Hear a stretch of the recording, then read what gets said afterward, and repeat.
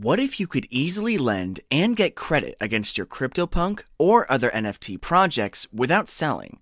Currently, NFT holders are facing a utility problem. Despite their high valuations, the capital in NFTs is locked unless they sell their NFTs. This is where you find JPEG, a lending protocol aiming to bridge the gap between DeFi and NFTs. In this video, we clearly explain what JPEG protocol is, the problems that it solves, how it works, their tokenomics, and much more. So, let's get right into the video. Before we begin to explain the main JPEG features, we encourage you to check the description below the video to join our Telegram news channel, where you can also visit our website for more information to stay up to date on what's going on the JPEG protocol and the latest launch updates. The NFT market is huge, but still untapped in terms of utility. Being able to use your piece of art to get a loan is revolutionary and easy to grasp if you are already familiar with DeFi. JPEG wants to bridge the gap between DeFi and NFTs, and then you will be able to understand how they aim to achieve it. JPEG is a decentralized lending protocol that enables borrowing against NFT as collateral. NFT holders will be able to obtain credit on their assets while still retaining ownership of them. In general, NFTs are liquid assets. That's why JPEG has the goal to make NFTs more useful than just showing off, buying, selling, or holding. Initially, CryptoPunks and EtherRocks will be the only collections supported by the project. Others, like Bored Ape Yacht, will follow later. However, their vision is to expand also beyond just JPEGs, as it's stated in one of their Medium articles, wherein they mention that their vision for the future sees the NFT space expanding to music royalties and albums. As mentioned previously, the NFT market is becoming the driving force behind DeFi, but NFTs are still illiquid assets. The market has trouble pricing, and it's currently impossible to take a loan out against an NFT. The JPEG protocol transforms CryptoPunks from static investments into yield earning products. JPEG will try to solve this by turning JPEGs into income producing assets that are valuable outside of the speculative value of the image. JPEG is the governance token. Stated on their website, it's described as a valueless governance token that has no economic value, but you need to know how to read between the lines. There's a popular meme in the DeFi space around governance tokens, where people like to call them valueless. This meme spawned from when Andre Cronje launched YFI because he called it valueless, and then we all know what happened after that if you take $10 as YFI's starting price. The total supply of JPEG will be 69,420 million, and the token split is presented in the diagram. DAO 35%, Team 30%, Donation Event 30%, Advisors 5%.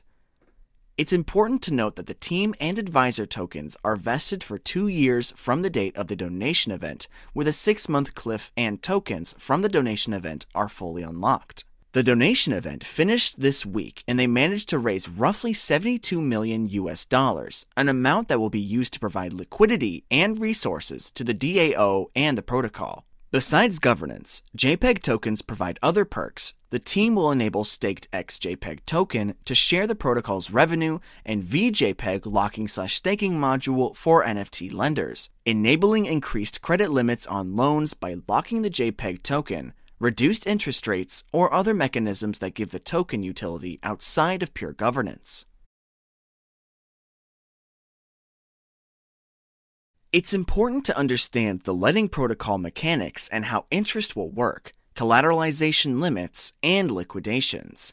There is a problem with NFTs, as the crypto space has no reliable method to determine their market price.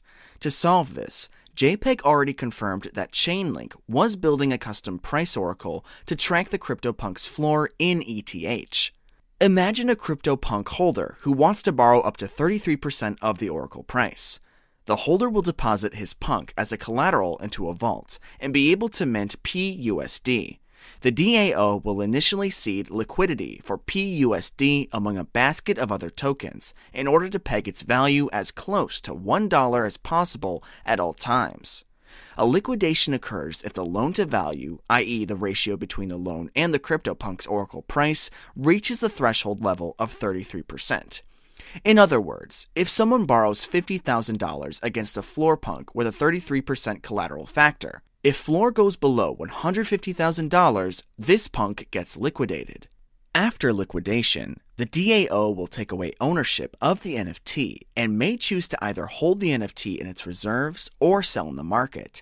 Thus, the DAO uses the treasury to pay back the $50,000 and now owns a punk worth $150,000, which it can either sell for a 3x on a secondary market or OTC, or keep in the treasury.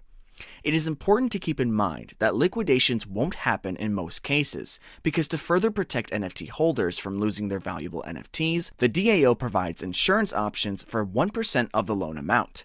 Therefore, in case of liquidation of insured NFTs, the user can repurchase the NFTs by repaying their debt, accrued interest, and a 25% penalty on the outstanding loan. All loans on JPEG will be over collateralized, meaning that the protocol will have the funds to liquidate set aside from the start. So, Raising $72 million in the token sale greatly accelerates JPEG's capacity to scale up fast and to generate a shitload of revenue, because Treasury will be able to perform liquidations, and these liquidations will drive a lot of revenue to the protocol.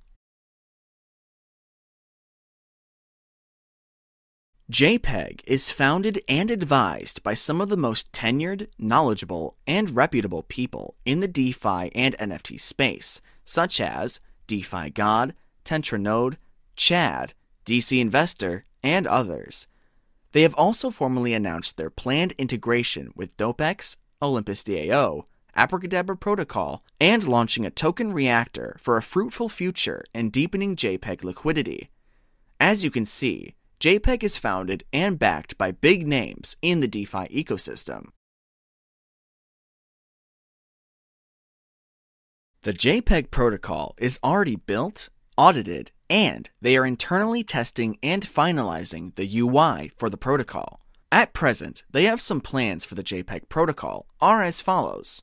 Liquidation free vaults, more utility for the JPEG governance token, additional NFT collections added to the protocol, permissioned liquidators, exploring a decentralized perpetual futures product on KNFT collections. JPEG team has announced that they are still working on integrating BAYC to the protocol and anticipated they will finalize shortly after the formal launch.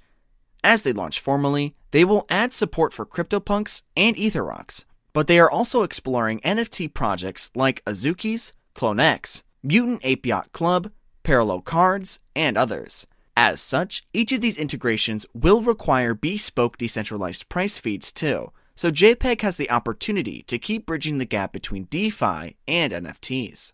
Remember, as we mentioned earlier, their vision is to expand also beyond just JPEGs, as it's stated in one of their Medium articles, wherein they mention that their vision for the future sees the NFT space expanding to music royalties and albums. The NFT market is becoming the driving force behind DeFi and JPEG Team aim to build a DeFi public good that is decentralized, creates a novel use case, and generates value for the crypto community. They saw an opportunity within the NFT space and had the idea to combine NFTs with DeFi. To be quite frank, the NFT space is quite simplistic and underdeveloped, and seeing the DeFi big brains step up the NFT ecosystem is a good thing. In short, JPEG wants to bridge the gap between DeFi and NFTs. Turning JPEGs into income producing assets will start a new boom in DeFi 3.0. We hope you enjoyed our overview of JPEG Protocol. If you did, please feel free to give it a like and subscribe to our channel. If you have any concerns or questions, please feel free to drop a comment. We're more than happy to reply. To learn more about the future plans of JPEG DAO, join our Telegram news channel, and visit our website, as that's the best place to reach us. Thanks for watching, and see you in the next video.